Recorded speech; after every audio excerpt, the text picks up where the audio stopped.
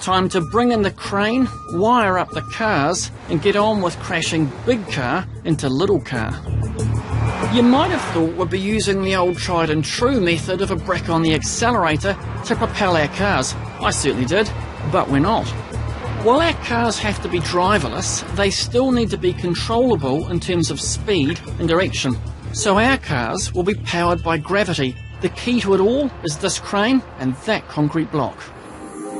The cars and crane are connected through a system of pulleys and wire. After a few careful calculations, the 5 ton block will be lifted to a height of 25 metres, which will propel both our cars to a collision speed of 70 kilometres per hour. Now it's time for a test fire of our mechanism. So what's going to happen is the crane will drop a concrete block and that will instantly propel me with a force equivalent to 2 Gs that way. I'm going to have the engine running so I've got power steering and brakes. Three, two, one. Oh shit. Yeah, so I misunderstood.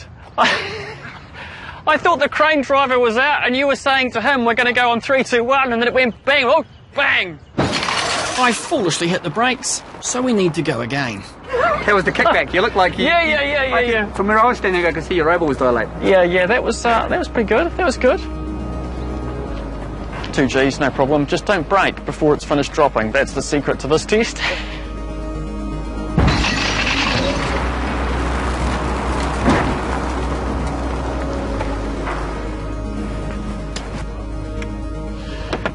So that went a lot better because I didn't start braking halfway down. But when that block drops, you totally feel instantly two G's of acceleration, boom, straight down that track. The key to all of this is that the cars actually collide. It almost never happens, but the last thing we want is two unmanned, uncontrolled cars careering off in opposite directions at 70 kilometres per hour. Like the ones we used on our trolleys, these wires will ensure that our cars collide, so they have to be tested and retested. Camera placement is crucial. We only get one go at this. We'll be employing 14 cameras at different angles, shooting at frame rates ranging from 25 to 5,000 frames per second to ensure we capture every moment of this collision. Those nifty little black and white stickers might not look like much, but they're tracking markers and they'll play a vital role in helping us record what actually happens in our collision. Real crash test dummies cost upwards of $400,000, so we've had to improvise somewhat. So there were two options for this part of the test. Um, one was I sit in the car, but that's just stupidity, so instead we've gone for slightly weird, creepy virtual Nigel.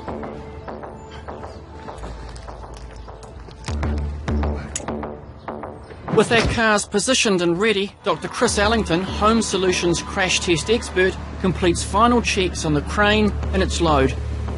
Remember, once that concrete block is lifted, the entire crash area becomes live and any margin for error is gone.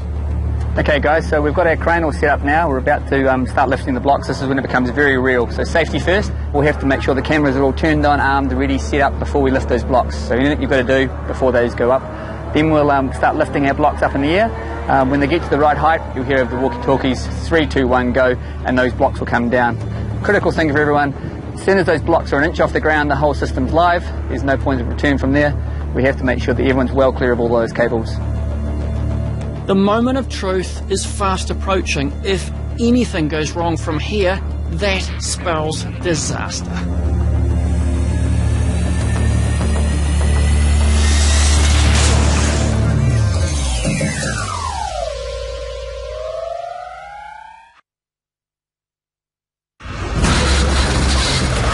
Finally, it's time for the real deal collision time.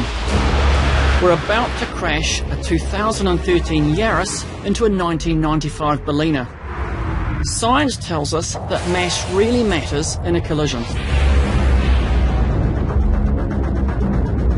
The Bellina, weighing one and a half times the weight of the Yaris, has a huge advantage in terms of mass. But will this be countered by the modern safety science on board the Yaris? Will airbags, crumple zones, and a strong occupant compartment combine to defeat the heft of the Bellina? I really have no idea. Which would you rather be in? Which car is going to win? So here's how it works. Our crane drops five tons of concrete, 25 metres, that pulls our cables tight, cars come hurtling down here, hit the blue block, steering mechanism goes away, towing mechanism goes away, freewheeling all the way across here, and it's something like 70 kilometres per hour in about a couple of milliseconds. All of that crash science comes together in a quite spectacular way. We're close now, almost live. We've thought of everything, or have we? When that block goes up, it's too late. This is the bit where it gets really serious. Any number of things could fail, a wire could snap, a pulley could fail. I see what you mean about tension at this point.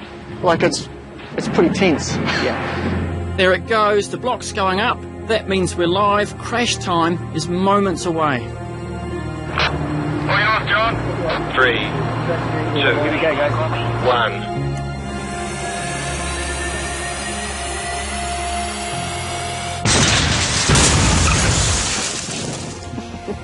It made me jump. Yeah.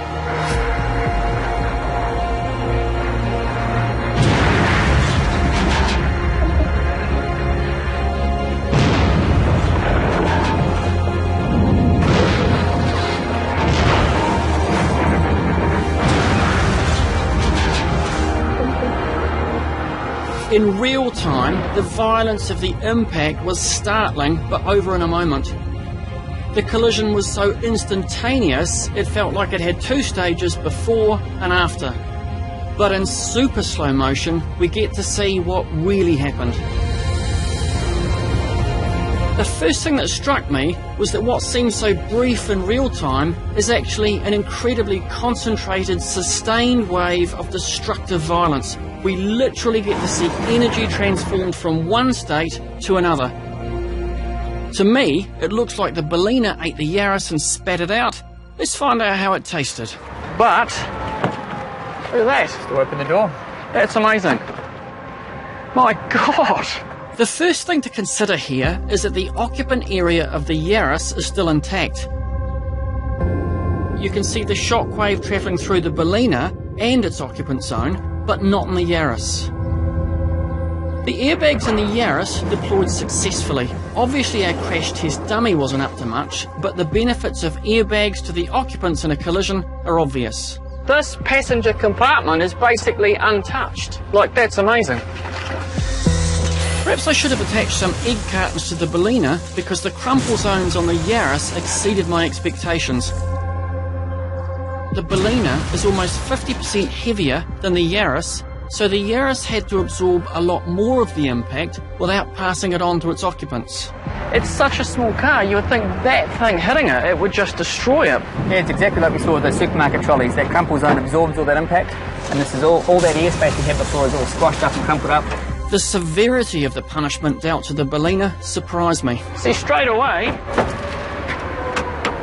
yeah. so that's just pushed all of that. The interior of the Bellina really tells the story. Although big and tough, the Bellina's got a glass jaw. Like all bullies, it can give, but it can't take. Its lack of safety science means that its occupants have to absorb more of the impact of the crash in their bodies than their counterparts in the Yaris. In super slow motion, we see all the science in action, and like all natural phenomena, it has a beauty and majesty of its own. Just like the hammer and the can, it's an inelastic collision. You can see how the vehicles seem to stick together. Right before our eyes, we see kinetic energy being transformed into the destruction of both cars. Then mass appears to win as the Yaris accordions backwards. But the amazing thing is, it hasn't. In terms of our original question, Chris, whether you're better off on the small modern five star safety rated car or the much heavier, bigger, older car, in your view, what's the data saying? Really clear, all of the data we've got from the video capture through the damage we see in the cars is the occupant of the little car comes away a lot better. So, kind of hands down one, a little car? Yeah, definitely want the little car. Even the high-speed video footage we've got shows that during that impact, the little car's crumple zones worked exactly as we intended. Squashed back, absorbed the energy along the way. Even though when you look at the footage, the bigger mass of the larger car has pushed in and, and pushed the little car backwards, you'd still rather be in that little car. At the beginning of the show, I posed the question as passengers, would my family be better off in a small modern car or a large, heavy old car? In a collision, size really does matter. Take speed out of the equation, and big will always defeat small, but car collisions aren't as simple as that.